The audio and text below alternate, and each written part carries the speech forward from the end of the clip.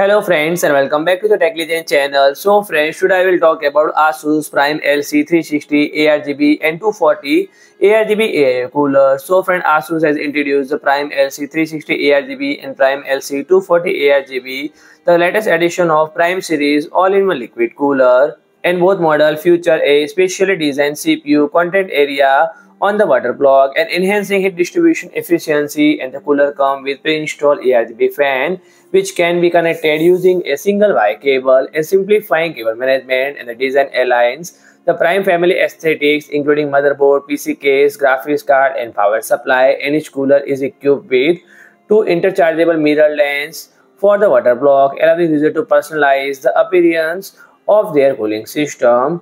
And the cooler and a large contact area facilitated improve and heat transfer from the CPU to the cooler ensuring that the processor maintaining optional operating temperature even under intensing workload and the ARGB fan not only aid in cooling but also offer customizable lighting option when activated the ARGB lighting enhance the visual depth of system through mirror surface and multi-layer design contributing to enhanced visual experience for users. So friend, if you like my video, please do like, share and comment and don't forget to subscribe my channel and press the bell icon.